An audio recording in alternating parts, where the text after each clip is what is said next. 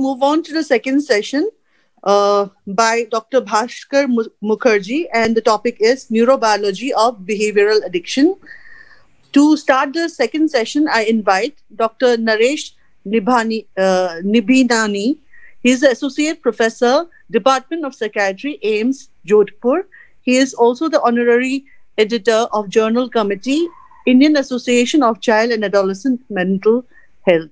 And he has about 154 research items. The next chairperson is Dr. Gyaneshwar Sharma. Can we have his slide, please? Uh, can we have uh, sir's slide? Ah, Dr. Gyaneshwar Sharma, he is the professor and former HOD, Department of Psychiatry, RIMS, and then JNIMS, both in Imphal. He is a retired professor of psychiatry, Mahatma Gandhi Medical College and Research Institute. He also has a WHO fellow on the addiction and rehabilitation. He has also been a WHO fellow for community psychiatry and published and presented various research papers in different national as well as international papers. I invite both the chairpersons to uh, kindly join us on the dais. I request uh, Dr. Gyaneshwar Sharma sir to kindly introduce our speaker, Dr. Bhaskar Mukherjee. In, in serious mental disorders, publication more than more than 10 published research paper. Uh, I request Dr. Bhaskar Mukherjee, uh, anyone to speak, my co-chairperson. Shall I invite Dr. Bhaskar for to continue the speech presented, presentation?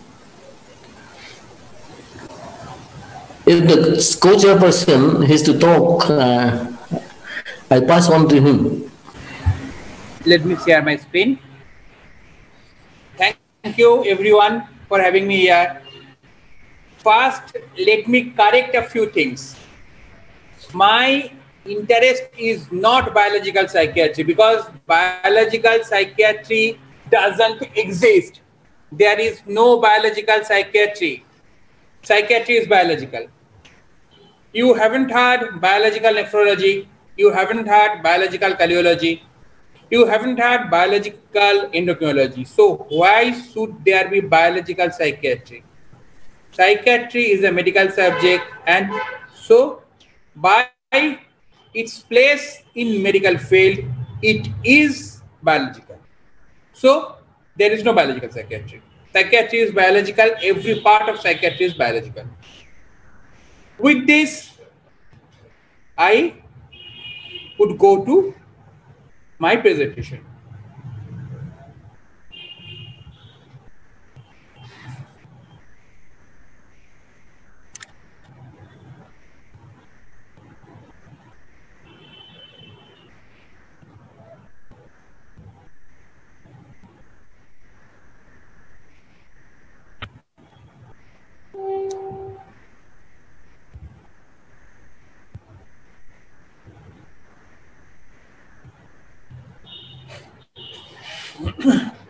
so my today's topic is process addiction and neurobiological basis as well as some part of its treatment. First, we have to understand what is process addiction. I would go to process addiction via a roundabout way. First, I would explore where is actual addiction process then I would explore the neurobiology of total addiction process. And from there, I would try to explain what is process addiction actually. In case you are wondering, process addiction is the correct scientific name of biological, sorry, behavioral addiction. So what is addiction? Addiction is a primary chronic disease of brains, reward, motivation, memory, and related circuitry. Though the circuitry is responsible for production of addiction, addiction is actually also a neurogenetic disease. It starts as neurodevelopmental trait and it manifests it in very early stage of human development. Yes, there is another variant which happens after midlife, but that is a different thing. And I would talk about it later when the time comes. So the phenotypical expression of drug use or phenotypical expression of overuse of any pleasurable activity is ultimately just a behavioral expression of this group of disease. The addiction is actually expression. The main disease is hiding inside the brain cells and, and their interconnections. So how, how this group of disease just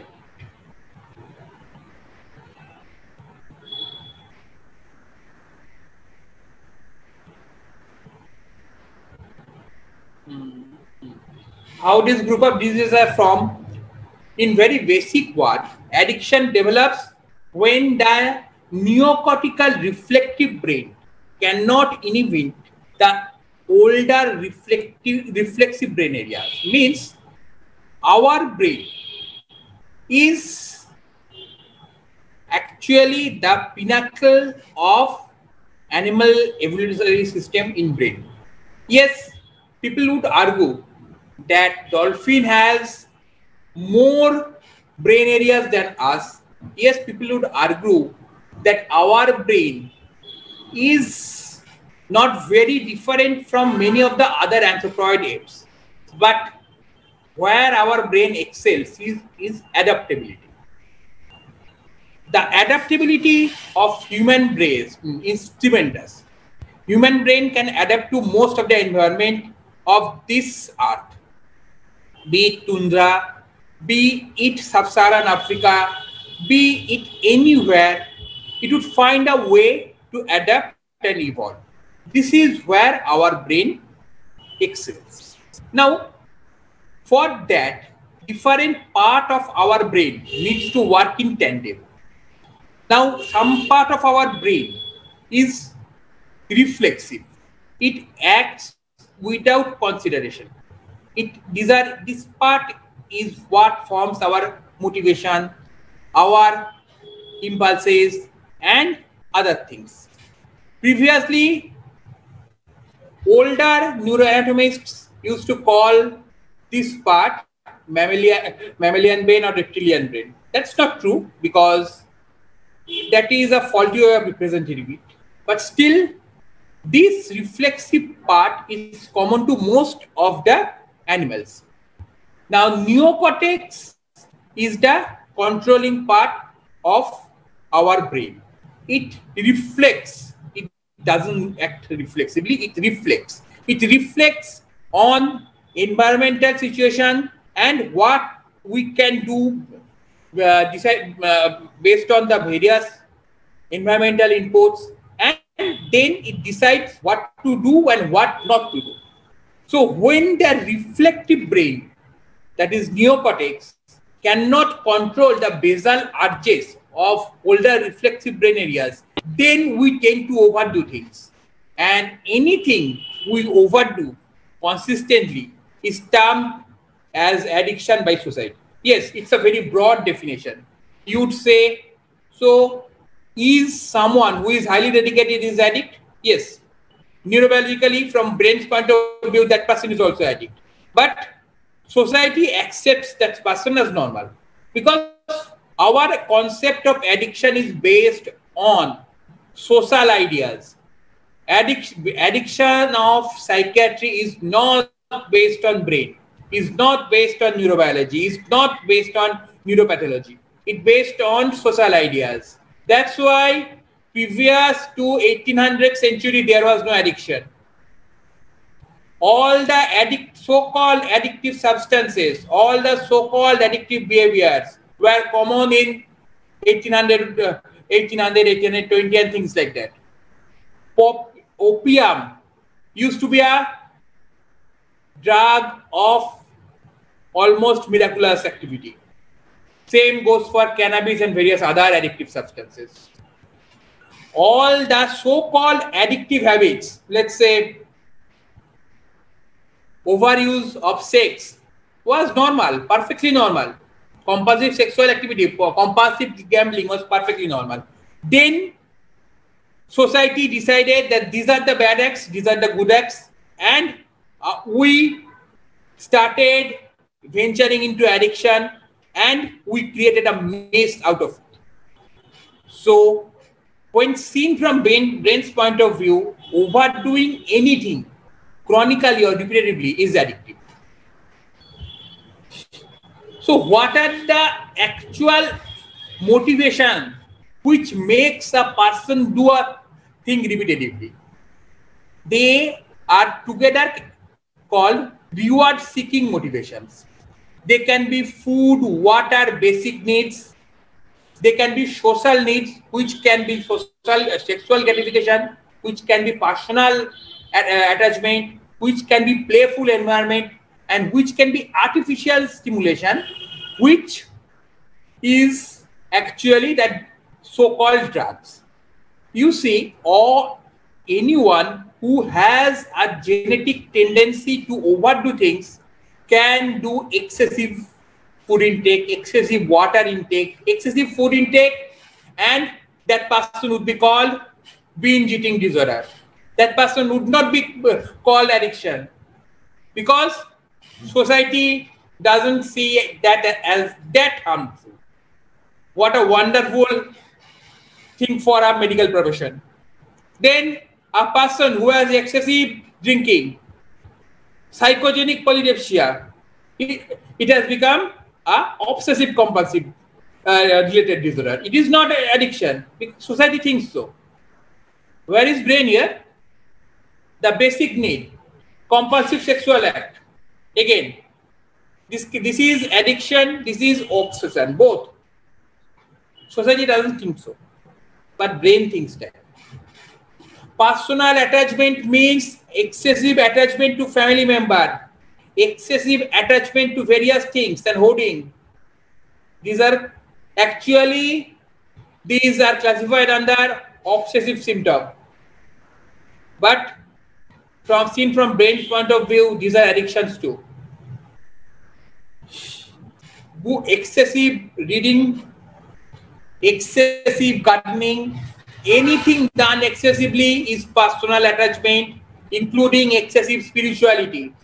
So today's gurus, today's various spiritual enlightenment seekers, they are in a way, in a way addicted to. Now, playful environment. Playful environment means enjoyable activities. So all the enjoyable activities is if overdone can be addiction. So we call a person who is playing 14 to 15 hours and computer game addict. Why? Because society says so. But we don't call a cricketer who is playing for 14 to 15 hours. Why? Because society says so.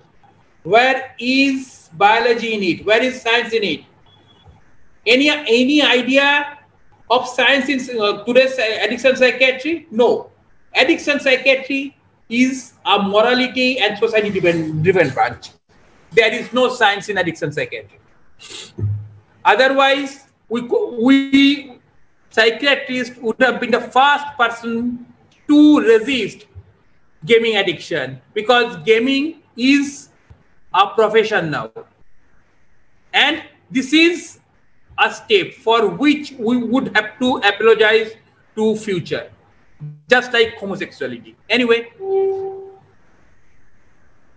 So comes the neuroanatomical considerations. I would just skip to this. I would give a schematic view because otherwise i would not be able to elaborate the area of behavioral addiction much. So the brain areas involved in formation of addiction are almost every brain, brain areas are involved. Because brain works in total. There is nothing no behavior no thought no motor action that happens only singularly. Brain works in tandem in total in everything. But the following brain areas, they are more involved in maintaining of addictive trait. These are basal ganglia and its various connection, Reward circuits and its inputs, cortical executive circuits and the projection of theirs into various parts of brain, amygdala and its various connection, thalamic complex with thalamus, hypothalamus, epithalamus, subthalamus and its connection, cerebellum and its various connection. This is the very common picture of Koob. The color coded ones are the areas implicated in binge or intoxication phase, withdrawal and negative affect phase, and preoccupation and anticipation phase. We, you can see that this is a preliminary attempt. The actual picture is much complex. I am not going into detailed explanation here because I have to explain behavioral addiction in a much broader term. This is the basic reward circuit. Very basic because reward circuit involves much more. Reward circuit in its total would involve cerebellum, would involve various association cortex, would involve various brainstem nuclei. But still, this is the very schematic picture of reward circuit and their inputs. These are the two main areas of motivation that control the reward circuit machinery. One is misery fleeing, this side, and its various level of control and reward seeking. I would suggest do not remember everything. Remember that nucleus accumbens is the ultimate common pathway here. And through nucleus accumbens both work. Shell nucleus accumbens and core nucleus accumbens common the perform the common pathway. This is how Habenular pathway actually control addiction. Habenular is the principal feedback mechanism for reward circuit there are other feedback mechanism. For example, the deep brain nuclei, the hypothalamus, epithalamus, say other parts of epithalamus and subthalamus. But Habenular so far has got the most interest of all the neuroscientists lateral habenula and medial habenula. Medial habenula projects to interpeduncularis nuclei and that projects to various parts of brain. You can see this is another pathway, endocannabinoid pathway. Endocannabinoid pathway is being explored slowly and just like endo-opioid pathway, endocannabinoid pathway plays huge role in addiction in various other body function, in immunity, in coagulation system, and even in pregnancy. I would give you a often repeated in, interesting fact. Many of you have seen that during antidepressant treatment, your patients conceive more frequently or many of the patients who are having infertility treatment comes to you gets antidepressant and then conceives without any kind of infertility treatment. And some of you have, might have wondered why. The answer lies probably in endocannabinoid system. Most of the antidepressants are direct or indirect modulator of endocannabinoid system. Now, endocannabinoid system is responsible for receptive suppression of maternal immunity during fetal implantation to maternal uterus. So, when endocannabinoid system is enhanced, the fetal implantation in maternal uterus gets enhanced. And many of the patients who has implantation failure would get benefited from antidepressant therapy. That might explain why many of our patients conceive naturally while on antidepressant treatment. Now, endocannabinoid system through ventral tegmental area, prefrontal cortex and nucleus accumbens produces a big role in maintenance of addiction and anticipation.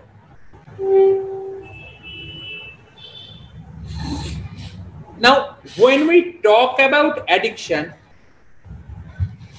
we have to understand that addiction is high motivation for anything coupled with wrong judgment.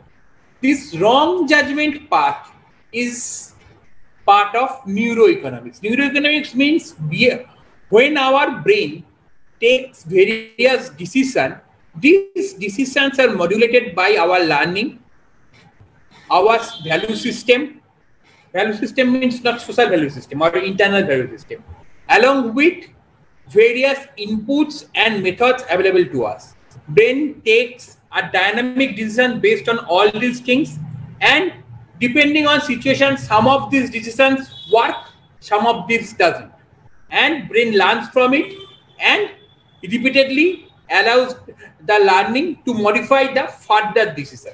Sometimes what happens in addiction is brain first take a faulty decision that decisions get brain some tangible in, instant reward and then brain goes on seeking that reward repeatedly. And addiction is produced. So inherently addiction is also a result of faulty dynamic decision making process. And that is part of neuroeconomics. So what is our schematic decision making process? This is a schematic diagram of that. I want all of you to remember this picture. First is representation of problem means whenever brain is facing a situation that is represented as a problem to brain and brain seeks what are the set of feasible action the internal states which says how many actions can be taken and the external states. Let's say someone is feeling hungry during a meeting. So that person would consider the feasible actions of going out of the lecture room or suppressing the hunger depending on internal state whether the person is in a well fed state or not whether the person is in fasting or not and whether the external situation allows the person to go out of the state, uh, uh, meeting or not and based on these the each of the different action would be valued. Each of the different action would give would be given an emotional value uh, internal value and the external value. And that value would decide for brain which action brain would select. And then brain would evaluate the outcome. And each of these stage would be learned and would be applied for future action.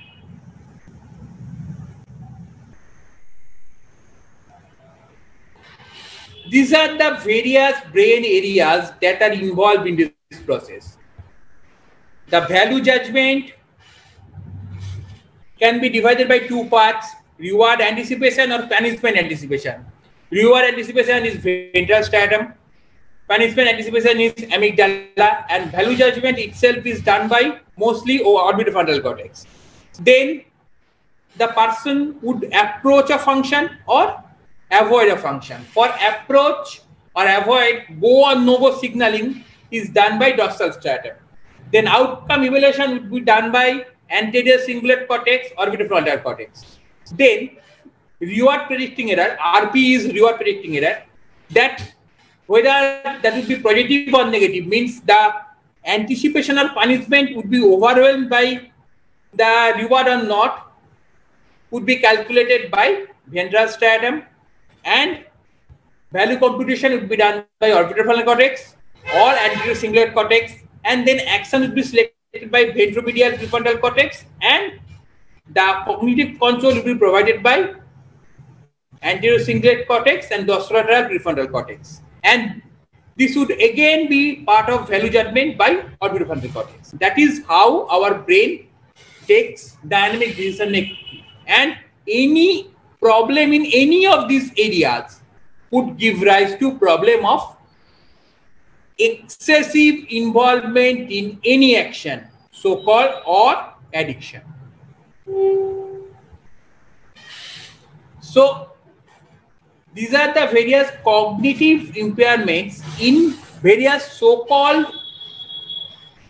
questionable addictive activity. Compulsive sexual behavior has attentional bias. Gambling disorder has motor as well as compulsivity as well as attentional bias. Binge eating disorder has all three. Internet gaming disorder has more attentional bias and impulsivity rather than compulsivity. But again, these are very early results and this has been done on a very specific subpopulation. If we do a large scale trial, these results may involve impairment in all the areas, mean all the cognitive areas, all the behavioral areas, and all the motor areas. So after this, after understanding the phenotype, uh, external phenotype, the dynamic decision making process of addiction, we come into molecular biology of addiction. Again, I am not elaborating it because if I elaborate it today, it would take three or four hours and the whole CME would cancel. So for any addiction, nucleus accumbens is the central point. This is this represents the common pathway. I have told it before. So, uh, in the nucleus accumbens, by incentive stimuli or natural reward, the, it actually mediate the reinforcing effect of drugs of abuse or, or behavioral, behavioral. Behavior means feeding, drinking, sexual behavior, exploitative locomotion, various other activity, anything that is pleasurable would fall under motivated behavior. So all our so-called behavioral process, behavioral addiction or process addiction would fall under motivated behaviors. Now, mesolimbic process would produce positive reinforcement of that behavior and that substance and motor responses would increase in magnitude and vigor would produce reward event. And that would in turn produce more human motivation and more human drive would be there for motivated behavior be it any motivated behavior. And all this is produced by some common molecular genetics part. And that leads to aberrant behavior. This is true for everything, means anything where motivation is involved, they are the same pathway will follow. So the genes of addiction are also genes of all impulsive act, including suicide. The genes of addiction are also genes of all high functionality part, means it actually part of it is actually part, of mania. Now so if we decide we cannot uh, rather i would say we cannot decide or cannot say these are genes of addiction. We should say these are genes which causes sustained motivational behavior in any domain This is actually the central dogma of biology and how we are going about it. We have just understood slightly this part, the genomics. We have a long way to go. Epigenome, we don't have much idea about epigenetics, transcriptomics, proteomics, metabolomics. We have not much idea about these things. So to understand that be it drug, this part is true for both drugs and behaviors. So any drugs of abuse or abuse or overuse of process any pleasurable process would produce the same thing. It would produce various transcriptional change and epigenetic change and ultimately would produce various ways through which some genes would be silenced. And ultimately, there would be long lasting adaptive change in neuronal function. This is a detailed pathway. This is how various dopamine receptor, NMDA receptor, AMP receptor, they modulate uh, on sustained stimulation, they, uh, they modulate the gene through calcium calmodulin complex, protein kinase, citrulline 1, and causes increase in BFOS and decreases in PFOS, CFOS. And ultimately, that causes long-lasting change in postsynaptic neuron and long-term potentiation of learned addictive behavior or behavioral addiction. Same goes for substance addiction. These are the drug activated gene and someday we are actually already trial is going on. Someday we are planning to block this one delta Fos delta FosB to produce change in addictive behavior. So after understanding all these things, now we can say we have a definitive understanding of what is behavioral or process addiction. It is actually another expression of endophenotype of impulsive compulsive behavior in the spectrum of normal personal behavior to addiction means it's a spectrum. The spectrum uh, consists of impulsive compulsive behavior and at one end there is person who is passionate about anything that includes me and that includes most of us who are listening to this webinar because unless you are passionate about something, you cannot reach to a position in your chosen profession. As we all have reached to a level in our profession, all of us have. So we represent, some of us represent normal spectrum. Then there goes the other ones who are overdoing it and ultimately those who are excessively doing it and who are not uh, able to live without it. Yeah, excuse me, Dr. Banerjee. Uh, little five minutes. Okay. So, complete the presentation. Yeah. Okay. So, it is the intermediate phenotype deficient internal control aka executive circuit dysfunction means there is executive circuit dysfunction and that causes the all the so-called behavioral or process addiction so it is the first step so, all the addicts of so-called substance they are also behavioral addict they are using some other process excessively along with that they are using some substances.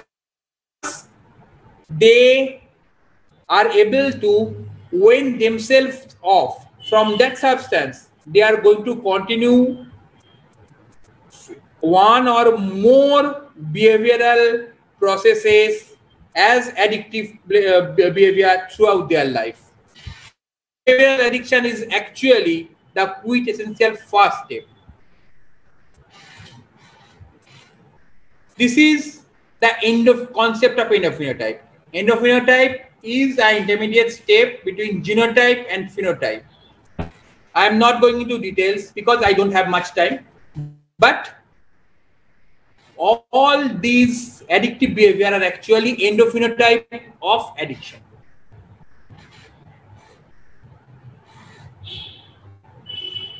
And this is how they have general population presence, unaffected relative presence, spectrum disorder presence, and ultimately presence in disorder.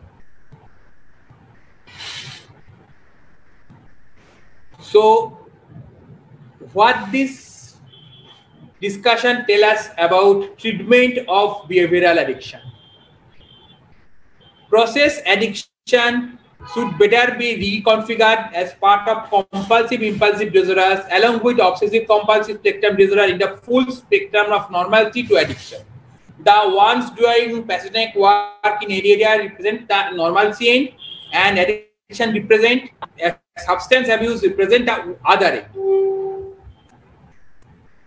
Pharmacotherapy of behavioral addiction, if, if based on neurophysiology, would be drugs to reduce attentional bias. Means all the stimulant, atomoxetine, methylphenidates, drugs that reduce impulsive behavior means naltrexone, nalmefene, the zonaminerol, and drugs that reduce compulsive behavior means SSRI.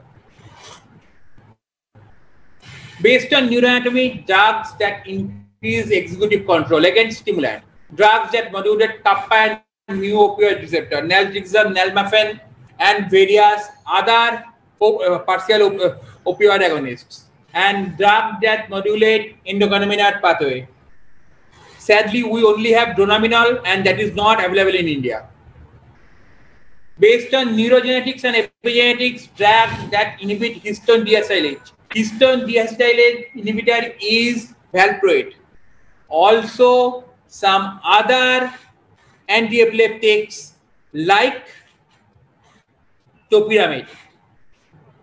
CYP2 inhibitors, almost all antipsychotics have CYP2 inhibitor activity, but it has its inherent, dangers too because CYP2 inhibition can give rise to metabolic syndrome. Drugs that promote demethylation and prevent methylation of genome and histone Again, all other, all our so-called antipsychotic antidepressants are actually promotes demethylation and prevents methylation and hypermethylation.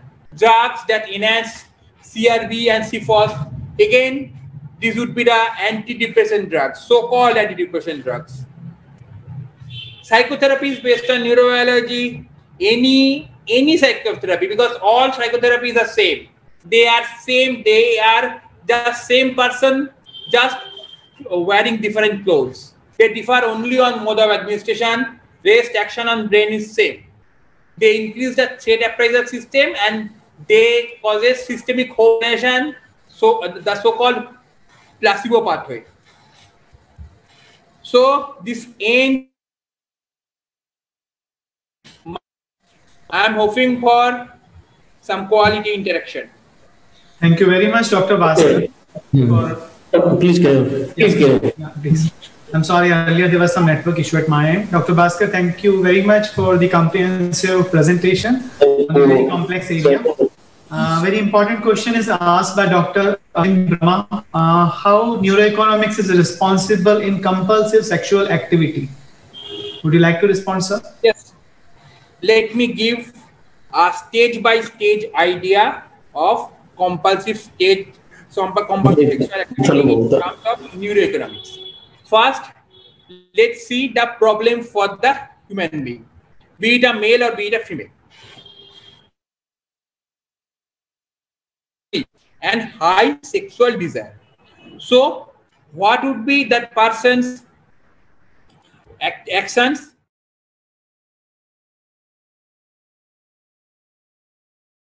compatible sexual partner or any sexual partner. Now, depending on that person's learning, that person's previous experience, and that person's internal value, that person might choose a commercial sex worker or that person might choose a extramarital relationship or that person might choose the dedicated partner. Then depending on that action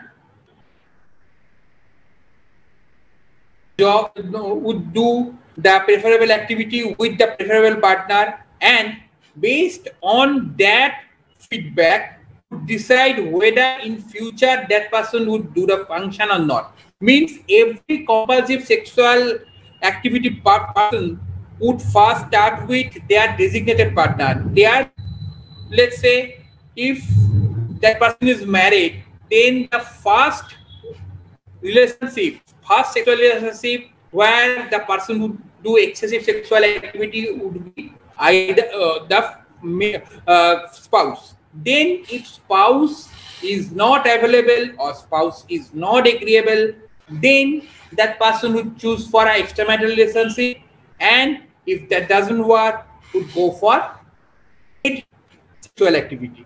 Then based on these, the person would uh, uh, go for paid sexual activity or uh, marital relationship frequently. So this is how a compulsive sexual action can be deconstructed on neuroeconomics. Over to organizers, since we have questions because of paucity of time as our organizer conveys